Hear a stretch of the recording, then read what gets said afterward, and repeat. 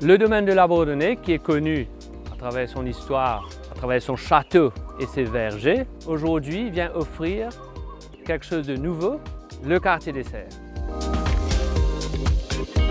Ce quartier a été développé, a été conçu, pensé d'une façon à être très proche de la nature.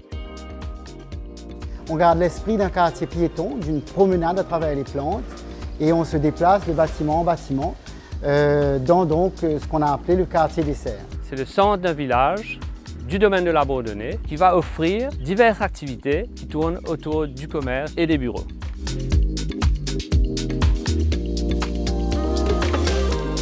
Donc le but était vraiment non seulement d'apporter des nouveaux espaces, mais aussi de relancer et redonner vie à la serre.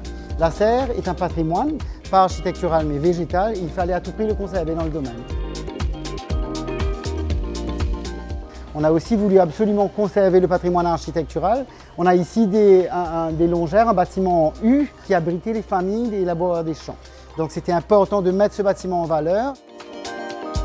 Ce centre du village se situe au milieu des espaces bureaux déjà existants, des écoles qui sont à proximité, des terrains de jeu, du centre médical et des autres activités commerciales comme par exemple la pépinière et la corbeille et la terrasse pour faire de cet espace un espace convivial, sympathique euh, et raffiné avec une touche de l'esprit d'antan qui est très fort dans ce domaine et qui quelque part correspond à l'esprit et la façon de vivre du domaine de la Bourdonnais.